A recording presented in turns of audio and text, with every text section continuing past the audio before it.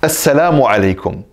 Heute, meine lieben Geschwister im Islam, wollen wir uns mit der ersten Sache beschäftigen, von den drei Sachen, welche einen Menschen retten werden am jüngsten Tag, den sogenannten Munjiyat. Und der Prophet sallallahu alaihi wasallam, er sagte, Al-Adlu fil Ghadabi. Gerechtigkeit im Zorn und in der Zufriedenheit. Unser Prophet sallallahu alaihi wasallam, er spricht hier über eine Sache, die zu den wichtigsten Dingen im Universum überhaupt gehört, nämlich die Gerechtigkeit. Allah subhanahu wa ta'ala, er ist Al-Adl, er ist der Gerechte. Und er verlangt von uns, immer gerecht zu handeln, in allen Situationen. Und deswegen heißt es im Koran, Inna Allah ya'muru bil adli wal ihsan. Allah, er gebietet wahrlich Gerechtigkeit und Güte. Eine Eier, welche jeden Freitag bei der Freitagspredigt am Ende zitiert wird von den Imamen. Allah subhanahu wa ta'ala, er sagt in einem Hadith Qudsi, einem heiligen Hadith, Ja ibadi, o meine Diener, inni harramtu dhulma ala nafsi. Ich habe mir selbst die Ungerechtigkeit verwehrt. وَجَعَلْتُهُ بَيْنَكُمْ مُحَرَّمًا und habe sie für euch ebenfalls verboten, die Ungerechtigkeit.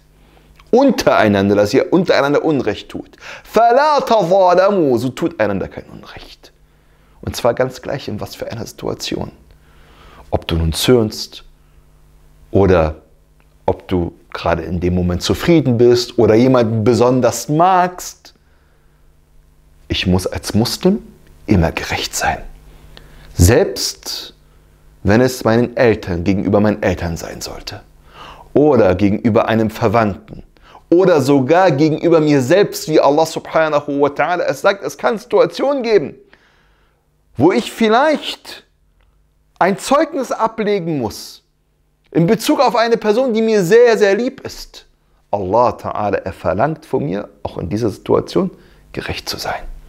Unser Prophet sallallahu alaihi wasallam hat das umgesetzt.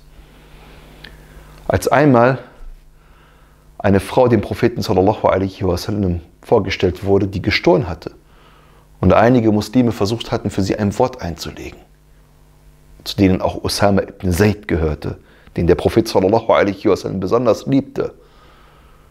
Da sagte der Prophet sallallahu alaihi wasallam vor allen Muslimen, nachdem er sie versammelt hatte, und er war voller Zorn gewesen, bei dem in dessen Hand Mohammeds Seele liegt.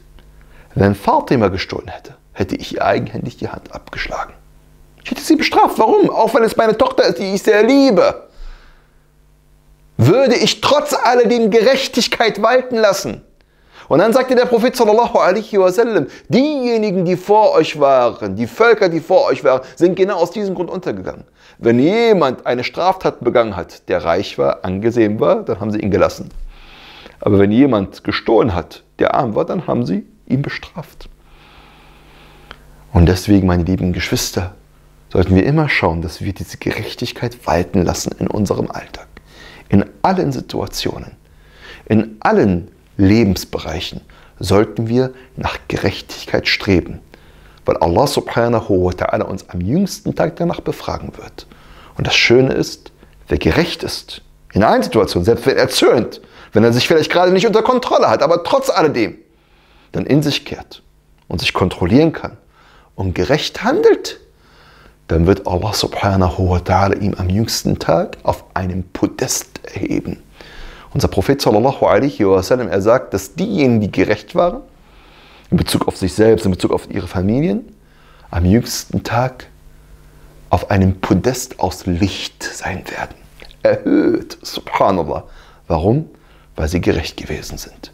Möge Allah Ta'ala uns zu den Gerechten gehören lassen, welche immer gerecht handeln, immer gerecht entscheiden, ganz gleich unter welchen Umständen und in welcher Situationen, damit wir gerettet werden am jüngsten Tag. Amin.